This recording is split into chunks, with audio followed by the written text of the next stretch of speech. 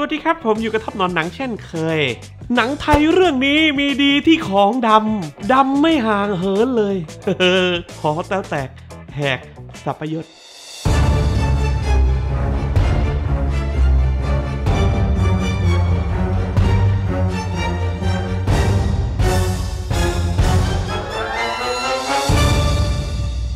แต่ก่อนจะไปฟังความรู้สึกของผมที่มีต่อหอแตวแตก ฝากทุกคนกดไลค์กด Subscribe เพื่อเป็นกำลังใจให้ผมด้วยนะครับ ใครที่กดไลค์กด Subscribe แล้ว ขอบคุณมากครับ นั่นคือกำลังใจชั้นดีในการทำคลิปของผมเลยนะอพอดีผมเพิ่งไปไ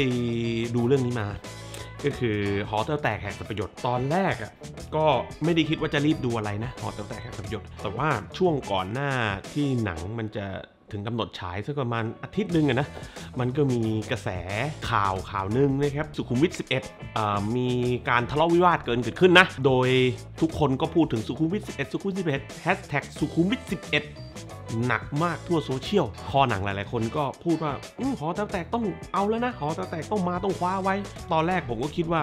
โอ้มันจะเป็นไปได้ไง อาทิตย์หนึ่งนะ ก่อนจะฉายถูกว่าหนังเขาก็ตัดเสร็จไปแล้ว editor ก็คือแบบแม่งสตาร์ทเรื่องอื่นไปแล้วใช่ไหมคือทุกคน move on งานมันไปแล้ว เพราะฉะนั้นเนี่ยก็ไม่น่าจะได้ใส่มั้งสรุปใส่เว้ย โอ้โห นี่คือมุดดุเดือด นี่คือดุเดือดมาก แล้วนี่แหละ คือสิ่งที่ทำให้ผมอยากไปดูว่าสุขุมวิท11 เนี่ยเขาใส่ท่าไหน ใส่ยังไง ใส่ไปตอนไหน อะเราเรารู้อยู่แล้ว เพิ่มตอนท้ายมันมีโปรโมทอยู่ ว่าถ่ายเพิ่มแก้บท เพิ่มสถานการณ์เข้าไป คือถ่ายแล้วใส่ตอนท้ายเรื่องอะเขาก็มีโปรโมทบอกอยู่แล้ว อันนี้ก็คือถ้าจะโทษผมเรื่องสปอยสเปอยอะไรก่อนก็คือโทษนู่นเลย โปรโมมันสปอยก่อน ผมก็ไปดูความรู้สึกผมคือ นี่คือหนังที่ โทษโทษทีครับ จะอ้วกมันจะอ้วก เมื่อกี้ถึงไหนแล้วอะโอเค ผมถึงตรงนี้ก็คือ ผมก็จะบอกว่าหนังหอแต๋วแตกแห่งสัพยศเนี่ยสำหรับผมเนี่ยถือเป็นหนังที่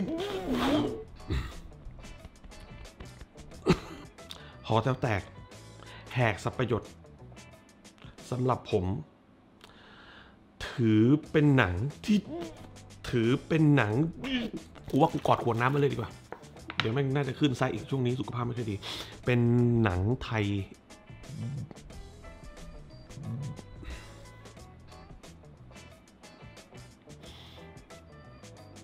เป็นหนังไทยดีๆ โอเค ที่อยากให้ทุกคนไปดู ไม่ต้องไปดูสปอย ไม่ต้องไปสนใจใครทั้งนั้น กระแสใครจะว่าเฮียช่างหัวแม่ง พวกแม่งไร้รสนิยม หนังแบบนี้จะคาดหวังอะไรใช่ปะคาดหวังอะไร หนังมาแนวพาโรดี้คอมดี้ตลก แซวการบ้านการเมืองแซวแบบสถานการณ์บ้านเมือง ไปจริงจังไรใช่ปะทุกคนอยากไปดูหอแถวแตกทุกคนอยากไปผ่อนคลายใช่ไหมเพราะฉะนั้นไปดูหนังที่ไปดูหนังดีๆ คะแนนสำหรับหนอนหนังที่จะให้หอแตวแตะแหกสับประโยชน์หมื่นล้านคะแนน เต็มสิบเลยครับ ส่วนใครที่ดูแล้วนะครับ ต้องการฟังความรู้สึกของผมต่อก็ดูต่อไปได้เลยหอแต๋วแตกแหกสับประโยชน์เป็นภาพยนตร์คอมเมดี้ในช่วงจังหวะที่มึงหันไปทางไหนก็โรงหนังแม่งแห้งแล้งอะ่ะ มีแต่หนังอะไรไม่รู้ออสกงออสการ์ไอ้เฮียดู ใครเขาดู หนังรางวัลออสกงออสการ์ใครเขาดู หน้าเบื่อหนึ่งหลับสองหนังทำไมต้องจริงจังขนาดนั้น บางครั้งเราคนดูไม่ได้ต้องการที่จะเสพหนังที่จริงจังขนาดนั้น ใครที่เขาอยากดูจริงจังก็ให้เขาดูไปดิใช่ปะใครอยากดูบทดีๆ ใครอยากดูหนังรางวัลก็ให้เขาดูไปโรงหนังเขาก็เอามาฉาย วนคุณก็ไปดู แต่นี่คือหนังในหนึ่งสไตล์ที่ในประเทศไทยต้องมี หนังตลก comedy พูดไม่ได้นะ ว่าหอแต๋วแตกเนี่ยไม่มีเรื่องไม่มีบท ภาคนี้มีนะเว้ยเขา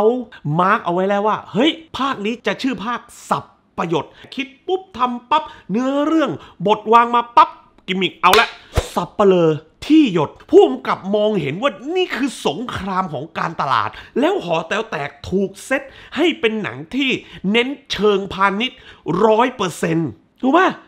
คือถ้าเรามองในมุมนี้เนี่ยหอแต๋วแตกคือประสบความสำเร็จ ผมพูดบ่อยครั้งมาก แล้วพูดมุมนี้จนขี้เกียจจะพูดแล้วคือ หนังดีกับหนังขายดี มันคนละเรื่องนะหนังดีขายไม่ได้ ปกติ ส่วนหนังขายได้ไม่ดี ปกติใช่ไหมหอแต๋วแตกก็อยู่ใน position ของหนังที่ทำมาเพื่อเชิงพาณิชย์ เท่านั้นไม่ต้องสนสนใจเหี้ยอะไรทำไมทำหนังก็ต้องเอาเงินก่อนนะไหม ไม่ต้องสนใจ อะไรที่คิดว่าคนไทยน่าจะ enjoy ก็ใส่เข้ามา ตูด ตูด คนไทยน่าจะชอบตูด ตูดขาวๆ ให้คุณดู ไม่ใช่แค่แวบๆเห็นตูดทั้งทีจะมาแวบๆในหนังหอแตวแตก no way no way ตูด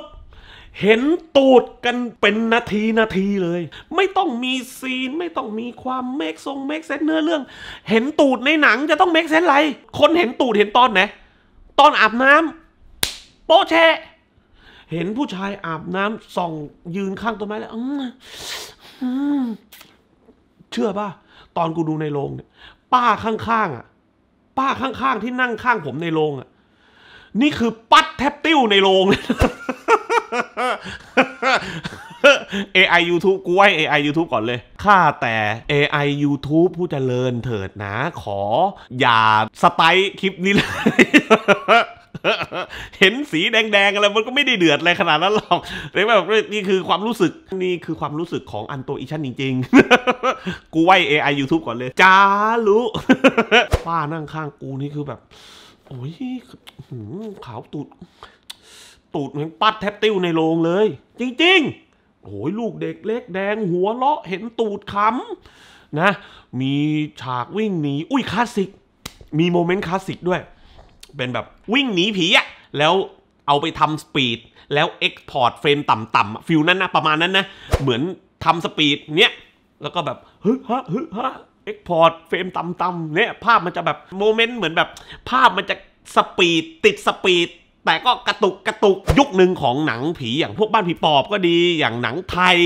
หนังผีวิ่งหนีลงตุ่มอะไรอย่างเงี้ยเขาจะใช้กันสปีดภาพนิดนึง แล้วก็ทำเฟรมต่ำๆมันจะดูกระตุกกระตุกดุกหน่อย คลาสสิกอืมแล้ววิ่งหนีถ้าจะให้ตลกก็ต้องมีคนที่วิ่งไม่คล่องใช่มันเป็นโมเมนต์หนังตลกไทย โอ้ยมีนี่คนไทยชอบคนไทยชอบ ก็คือเห็นแบบ เป๋ๆหน่อยไหมเป๋ๆหน่อยไหมวิ่งนะเป๋ๆหน่อย ผีหนีก็ต้องบีเอ๊ะเดี๋ยวนะถีต้องหมีไม่ใช่หมีหนี ผีก็ต้องหนี เออ ผีก็ต้องกูมางงยี่อะไร หนีผีผีหนีอะไรเนี่ย ผีก็ต้องหนีพิการด้วย เชี่ยแม่งก็ทุลักทุเล ลำบากยากลำบาก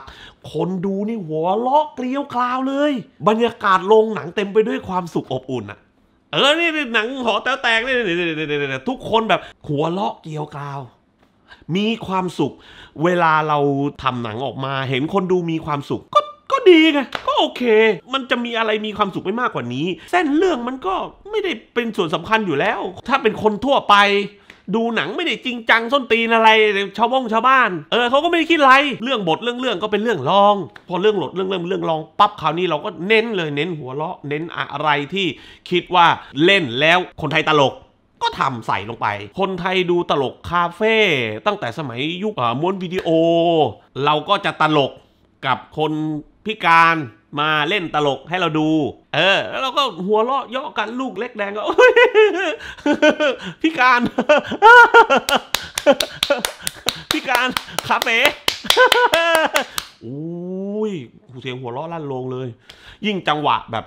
ขาเป๋แล้วกระเพกกระเพกปึ๊บปึ๊บปึ๊บปึ๊บปึ๊บเอ้ยอุ้ยเสียงหัวเราะลั่นนี่คือแบบอื้อหือก็คือเหมือนดูคอนเสิร์ตแบบคอนเสิร์ตศิลปินดังอะไรอย่างนั้นเลย เหมือนอย่างนั้นเลยแบบ แซ่ซองอะแซ่ซองอะแบบหัวเราะแซ่ซองเฮ้ยมึงเขาโฟกัสมาแล้วไงว่าภาคนี้คือ หอแต๋วแตกชื่อภาคแหกสับประโยชน์เริ่มเรื่องเขาก็ให้ตัวละครสับเปลอจากฝั่งสับเปลอแล้วก็ผีจากฝั่งที่ยศโยนตัวละครมาปั๊บปั๊บแล้วก็เป็นสงครามแย่งชิงตลาด ปกติแล้วหอแต๋วแตกเนี่ย หลาย ๆ คนจะยกย่องให้หนังเรื่องนี้เหมือนเป็นหมายเหตุ เห็นไหมเป็นหมายเหตุ ในช่วงยุคสมัยนั้นเกิดอะไรขึ้น ในช่วงยุคสมัยนี้เกิดอะไรขึ้น ปกติแล้วเนี่ย เราฟัง พอดคงพอดแคสต์เรานั่งคุยฟังไลฟ์คุยกับพงกับเพื่อน ตอนขี้คุยโทรศัพท์กับแฟน คุยกับพ่อกับแม่คุยเรื่องเก่าๆมันมันก็นอสโซเจียมันก็เป็นหมายเหตุเหมือนกันแต่แบบไม่พอ มันต้องมีหนังมันต้องมีหนังพวกนี้ด้วย มันต้องมีหนังแบบเนี้ยที่เซฟเหตุการณ์ต่างๆ ในยุคสมัยนั้น คนก็เลยนิยาม ว่าหอแต๋วแตกเป็นเหมือนอคล้ายๆ กับหมายเหตุว่าแบบเอ้ยช่วงยุคนี้มันเกิดอะไรขึ้นนั้นนั้นเวลาเราทวนปั๊บเราจะได้ อ่าจำได้ว่าอ๋อในช่วงปีนี้ไงมันมีสุขุมวิทสิบเอ็ดมันมีเรื่องนั้นเรื่องนี้อะไรอย่างนี้ พอเขารู้ตัวว่าเขาอยู่ในเวอร์ชันนี้ปั๊บเขาก็จับแล้วเซตเปิดเรื่องให้เหมือนเป็นสงครามฟาดฟันกันเรื่องยอดขาย มียิงพลัง 10 ล้าน สุดท้ายปิดด้วย 700 ล้าน และเป็นเอฟเฟกต์700 ล้าน ปูขนลุกปวดขี้ด้วยโรงหนังแอร์เย็นด้วย แต่ว่ายังดีหน่อยหอแต๋วแตกเนี่ย คือเราขนลุกปวดโค้งปวดขี้จะเข้าห้องน้ำอะไรอย่างเงี้ยมันก็สามารถลุกไปได้ไง คือเราไม่ต้องซีเรียสไง เราจะเข้าห้องน้ำตอนไหนเนี่ยก็ลุกไปได้ เหมือนอย่างมึงดูอะสมมติล่าสุดที่เพิ่งดูกัน Dune อย่างเงี้ยโอ้ยไอ้เหี้ยนั่นน่ะคือ โหดร้ายกับคนดูมาก บางครั้งมากเกินไปด้วยซ้ำตาเดิร์ฟเนี่ยเป็นบุ้งกับที่ทำหนังมา ไอสัตว์จะเล่าเฮียอะไรนักยาวเยิว เข้าห้องน้ำก็ไม่ได้ ลุกนิดเดียวละสายตานิดเดียว ดูไม่รู้เรื่องข้ามส่วนสำคัญ เพราะหนังแม่งสำคัญทุกส่วนข้ามไม่ได้ ปวดฉี่ไข่จะขาดอะคนข้างหน้าผมน่าจะมีบ้างอะไข่ขาดไปบ้างกันสองสามคนอะแต่หอตะแตกแสบประโยชน์ไม่ต้องไงนี่คือคุณไปเข้าห้องน้ำก็ลุกได้เลย คุณหิวน้ำก็ลุกลงไปซื้อป๊อปคอนซื้อน้ำได้ สมมุติคุณรู้สึกว่าแบบ เฮ้ย เราชอบพี่โกตีกับพี่จตุรงอย่างเงี้ย เฮ้ยเราอยากดูแค่สองคนนี้ แต่ว่าพอเราดูไปสักพักแล้วแบบช่วงกลางๆเรื่องมันเริ่มแบบเล่าตัวอื่นๆ เยอะเว้ยเริ่มปูตัวอื่นๆเยอะเว้ยช่วงปูตัวอื่นๆ ก็น่าจะสักสิบนาทีมั้งสิบนาทีสิบห้านาทีอะไรอย่างเงี้ยคุณเดินลงไปดูเบเบดเอ้ยไปซื้อเบเบดเอ้ยกะว่าแบบเฮ้ยช่วงนี้อยากเล่นเบเบดพอดีเฮียเดินลงไปช้อปปิ้งก่อน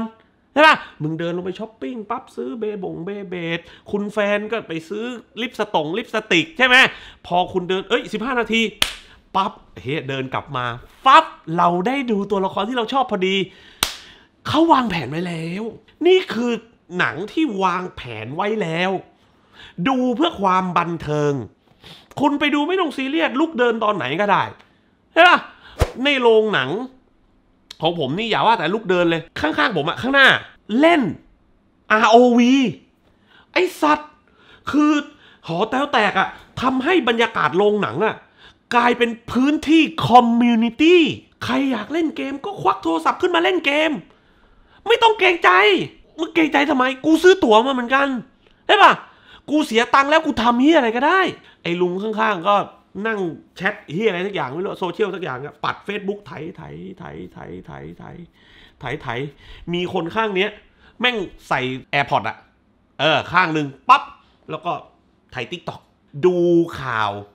สุขุมวิท 11 ในโรงหอแต๋วแตก ที่เดี๋ยวก็จะมีไทยอินสุขุมวิท 11กูขนลุกมากนะสถานการณ์เนี้ย มึงนึกภาพว่า มันจะมีหนังเรื่องไหนบนโลกใบนี้ที่ เราสามารถเสิร์ชแล้วอ่านข่าวตอนนั้น ในขณะที่หนังแม่งก็ฉาย ไอ้เฮียโคตรจะดีเลยว้ยเฮ้ยจริงเชื่อนี่คือมิติใหม่ผมนี่คือแบบถอดแว่นออฟตัด แล้วแม่งยกโทรศัพท์มาเรียกแม่บ้านบีนีดเลยBeNeat แม่บ้านออนไลน์ เพียงคุณโหลดแอปพลิเคชัน BeNeat แม่บ้านออนไลน์ ก็สามารถจองคิวและเรียกใช้บริการได้ ภายในกรุงเทพ ปริมณฑลชนบุรีและเชียงใหม่ แม่บ้านของ BeNeat ทุกคนเนี่ยผ่านการอบรมและ train มาเป็นอย่างดี แถมถ้าเราถูกใจแม่บ้านคนไหนเนี่ยก็ยังสามารถเลือกใช้บริการแม่บ้านคนนั้นได้อีกด้วย คิดค่าบริการเริ่มต้นเพียง 2 ชั่วโมง 520 บาท และ สำหรับชาวหนอนหนังนะครับ เพียงใช้โค้ดหนอนหนัง BN ก็สามารถรับส่วนลดไปเลย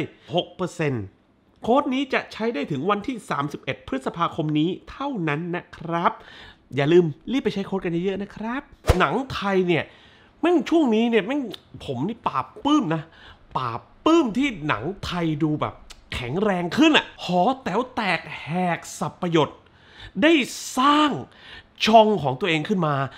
หนังหอแตวแตกมีอย่างหนึ่งที่พยายามทำมาโดยตลอด และภาคเนี้ยแหกสับประโยชน์มีเด่นชัดมาก ๆ ก็คือ การสร้างช่องที่เรียกว่าน Night Comedy นะตลกตอนดึก ๆ พอพระอาทิตย์ตกปั๊บฟ้ามืด ปุ๊บ ตลก ปุ๊บ ปั๊บ พอฟ้ามืดปั๊บ สมองมันแล่น เอ๊ะมันน่าจะเกิดจากการวิจัย และรวมทีมงานศึกษากันมาอย่างละเอียด ลึกซึ้งที่สุด เพราะเรื่องนี้เป็นเรื่องที่เกิดขึ้นกับคนไทยไม่ใช่แค่คนไทยด้วย ทั้งโลกเลยด้วย คือมนุษย์เราเดี๋ยวนี้จะนอนดึกและตื่นสายมากขึ้น เขาวิเคราะห์มาแล้ว เราจะได้เห็นซีนตลกที่เป็น night comedy พอดึกดึกๆปั๊บจะตลก เป็นพิเศษสังเกตดิพอฟ้าสว่างปั๊บไม่ตลกฟ้าสว่างปุ๊บไม่ตลก ในในเรื่องอะมันเลยมีการใช้เทคนิคเหมือนการเล่าสองลายแล้ว cross สลับไปมา โดยการที่ให้สว่างมั่งมืดมั่งมืดมั่งสว่างมั่งสว่างมั่งมืดมั่งแงตลกปกติแล้วภาพยนตร์นะครับ เวลาเขาเล่าไม่เรียงไทม์ไลน์แล้วต้องการจะตัดสลับไอ้เรื่องเนี้ยมีให้เห็นกันบ่อยครั้งก็คือทำแล้วมักจะบง ทำแล้วมักจะบงใช่ไหมถ้าให้ไม่บงเทคนิคเนี้ยพื้นฐานแล้วเนี่ยควรที่จะเป็นช่วงเวลาที่มันอยู่ภายในเหตุการณ์นั้นๆ ยกตัวอย่างเช่น มีเหตุการณ์อะปล้นแบงก์อะสมมตินะปล้นแบงก์แล้วเกิดตำรวจก็กำลังมา โจรก็กำลังมา ในแบงค์คนก็กำลังพลุกพ่านเป็นเหตุการณ์ที่เกิดขึ้นนะตอนนี้แต่ว่ามีกลุ่มคนหลายกลุ่มเข้ามาพัวพันในสถานการณ์นี้ มันเป็นเหตุการณ์ชุลมุนเวลาเขาเล่าแบบตัดสคริปต์ ไทม์ไลน์มีเส้น 3 เส้นเนาะของคนในแบงค์เส้นหนึ่งโจรเส้นหนึ่งตำรวจเส้นหนึ่งอะไรอย่างเงี้ยเขาก็สามารถตัดสลับได้แบบ เห็นตำรวจปั๊บเตรียมตัว เห็นโจรเตรียมตัว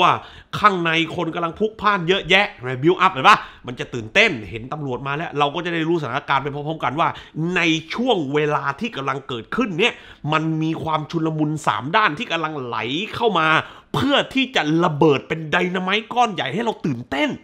ใช่ไหม เออ มันก็เป็นช่วงเวลาที่ไม่ต่างกันมากเป็นเหตุการณ์เดียวกัน แต่หอแต๋วแตกสร้างบรรทัดฐานให้คุณได้รู้เลยว่า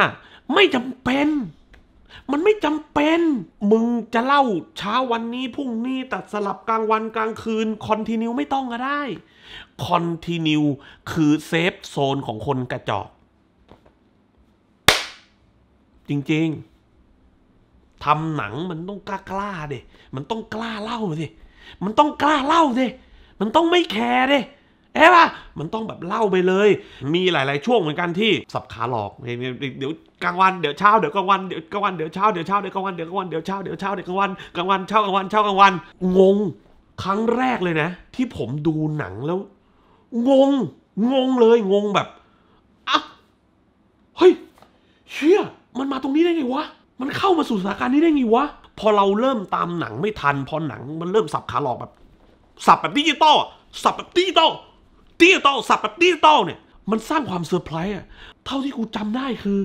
มันเป็นสงครามระหว่างผีในธี่หยดกับสัปเหร่อในหนังเรื่องสัปเหร่อนี่หว่า อ๋อ ผีธี่หยดมันแพ้ แล้วมันต้องการมาล้างแค้น โดยการหาเหยื่อคนอื่น แล้วมันก็มีเฮียมัน ไอ้ผีดอกหญ้าใครวะ ลูกหรือเมีย ลูกแหละ ลูกไม่ใช่เมียหรอกลูกแน่นอน เกือบตามไม่ทันน่ะ หนังอะครับ บางครั้งอะ คุณไม่ต้องเข้าใจทั้งหมดก็ได้ ผู้กำกับเดนิสวิลเนฟก็พูดเอาไว้เรื่องนี้ ว่าบางโมเมนต์ในหนัง บางสถานการณ์ในหนังเล็ก ๆ น้อย ๆ เนี่ย คุณไม่ต้องเก็ตมันร้อยเปอร์เซ็นต์ก็ได้ แล้วปล่อยให้ความรู้สึกคุณมันไหลไปกับหนัง สิ่งที่คุณควรจะโฟกัสก็คือ หอแต๋วแตกแหกสับประยชน์มันคือสงคราม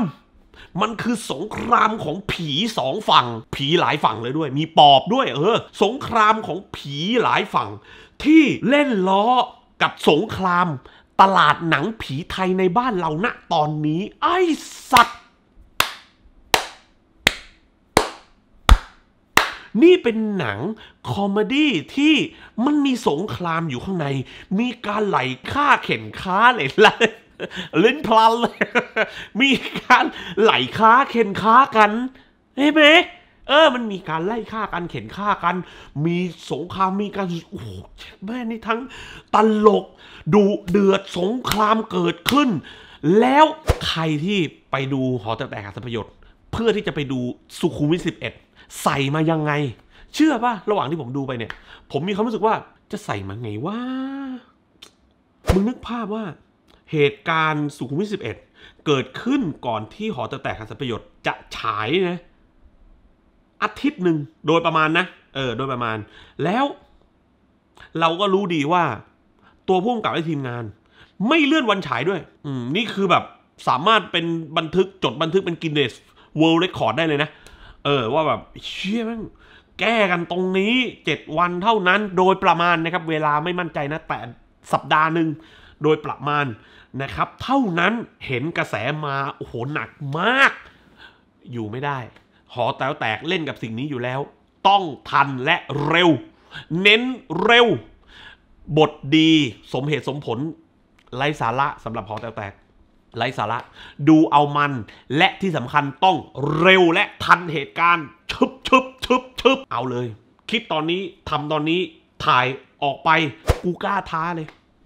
กูกล้าท้าเลย ใครที่บอกว่ามันง่ายอะทำอาทิตย์เดียวฉายขึ้นลงเนี่ยใครที่บอกว่ามันง่าย กูอยากให้มึงลอง ไม่ต้องฉายลงหรอกทำหนังสั้นลง YouTube ก็ได้ จับเวลาเท่าซีนสุขุมวิท11อะตอนนั้นอะจับเวลาเลยนะ จับปั๊บได้กี่นาที ให้มึงทำหนังสั้นเท่านาทีในฉากสุดท้ายสุขุมวิท11ในหอแต๋วแตกหันสัประโยชน์ภายในหนึ่งอาทิตย์ต้องคิดแล้วถ่ายแล้วทำทุกอย่างภายในหนึ่งอาทิตย์ด้วยนะ ภายในวันจันทร์เริ่มเขียนบท ปั๊บคิดบิ๊กไอเดียวันจันทร์เขียนบทปุ๊บไม่ต้องเขียนก็ได้ ถ้าไม่อยากเขียนไม่ต้องเขียนก็ได้ วันจันทร์ก็คือ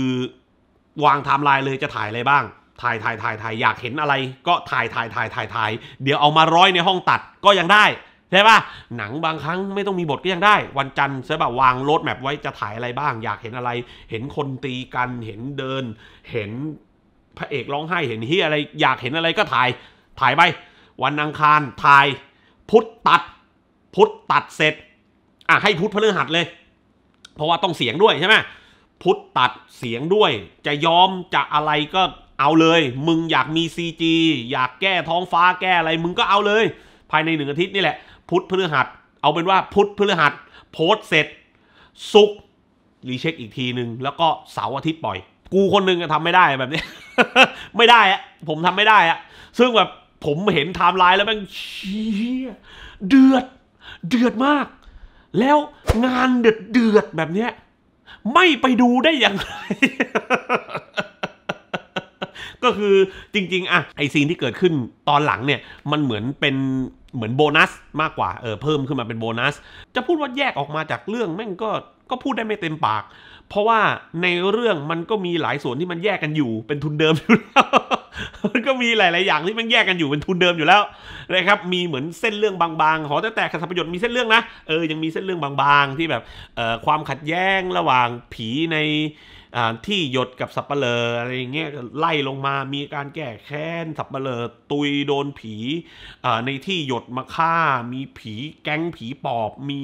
แก๊งของพี่จตุรงกับพี่โกติพี่โรเยอะนะแล้วความชลมุนก็เกิดขึ้น แวะดูตูดพักหนึ่งด้วย แวะดูตูดเออมีอีเวนต์ใหญ่ scene A เออ หนังทุกเรื่องมีซีน A ซีน A ซีนขายของหอแตวแตกแขกสัมพยศคือตูด ใครอยากเห็นตูด ซื้อตั๋วเข้าโรงเดี๋ยวนี้เลย มึงได้เห็นตูดอืขาวขาวๆหลายลูกมากอะมีโหมันเป็นลูกเป็นลูกเป็นลูกเป็นลูกสี่ห้าลูกอะ ให้มึงเลือกอะใครอยากใครอยากเลือกตีตูดไหนก็เข้าไปในโรงแล้วจินตนาการแล้วทำท่าตีได้เลยค่ะ จริงๆนะครับก็ใครสนใจก็ลองไปดูนะนะครับ ส่วนผมนี่คือหนังแบบนี้คือมันมันดีเกินสำหรับผมนะ ดีเกินที่จะไปดูซ้ำสองอืมดีเกินที่จะไปดูรอบสองใครที่จะให้ผมไปดูรอบสองไม่ต้องมาชวนแล้วนะ เออ ไม่ต้องมาชวน เพราะว่าหนังแบบเนี้ย ผมผมอยาก เก็บความรู้สึกที่แบบ first impression หนังอะครับ เวลาเราดูเหมือนเราดู The Mist อย่างนี้ก็ได้เออยกตัวอย่าง The Mist ก็ได้ เราดูรอบแรก มันสนุกมาก รอบสองสามสี่มันไม่เท่าแล้ว ใช่ปะผมอยากเก็บความรู้สึกที่ผมมีกับหอแต่แตกแหกสัพยศแค่รอบแรกรอบเดียวในชีวิตนี้เท่านั้น อยากคีบความรู้สึกนี้ไว้ เออ พูดว่าหอแต่แตกสัพยศดีโดยที่ไม่คืนไส้ได้แล้วเว้ยเออ เพราะฉะนั้นนะครับใครที่อยากไปดูก็ลองไปดูผมพูดเสมอหนังนะครับไม่ว่ามันจะดีจะเฮียอะไรยังไงก็ตามเนี่ยขึ้นชื่อว่าภาพยนตร์มันทำให้มึงดู ไม่ใช่ทำเพื่อให้มึงมโน แล้วก็คุยกันโดยที่ยังไม่ได้ดูนะครับส่วนใครที่รู้สึกว่ามีอย่างอื่นดูอยู่แล้วค่ะพี่ก็ไม่ต้องไปดูก็มีอย่างอื่นดูอยู่แล้วไงเออไม่ใช่แนว มีอย่างอื่นดูอยู่แล้ว นะครับอ้อหอแตวแตกอ้อผมดูแค่สองภาคแรกพี่ที่เหลือผมก็เลิกตามแล้ว ก็ก็ก็ดูเรื่องอื่นนะครับมีเรื่องอื่นโรงหนังไม่ได้มีหนังเรื่องเดียวมีหนังเป็นสิบเรื่องนะครับคุณจองเรื่องไหนก็ได้ อยากดูวันหยุดหาหนังดูสักเรื่องแล้วกันนะครับเรื่องไหนก็ได้ที่คุณชอบนะครับผมแล้วก็ใครที่จะทำความสะอาดบ้านลองใช้บริการแม่บ้านออนไลน์บีนิสดูผมแนะนำนะเออผมแนะนำนะครับผมเลือกใช้บริการบีนิสแม่บ้านออนไลน์นะครับผม แม่บ้านของเขามืออาชีพ ผ่านการเทรนมาเป็นอย่างดี เริ่มต้น 2 ชั่วโมง 520 บาท ราคาเป็นมิตรมากๆนะครับผมแล้วก็อย่าลืมนะ ใช้โค้ดหนอนหนัง BN ลด 6%ภาพยนตร์ทุกเรื่องไม่ว่าจะเป็นภาพยนตร์ที่โคตรประทับใจหรือที่จับใจก็ตามมันจะตามหาคนที่คุยกับมันเสมอคุณจะรู้ได้ไงครับก็ต้องไปดูด้วยตาคุณเองแล้วคุณจะรู้ว่าภาพยนตร์เรื่องนั้นมันเกิดกับคุณหรือเปล่าสำหรับผมวันนี้ลาไปก่อนครับสวัสดีครับ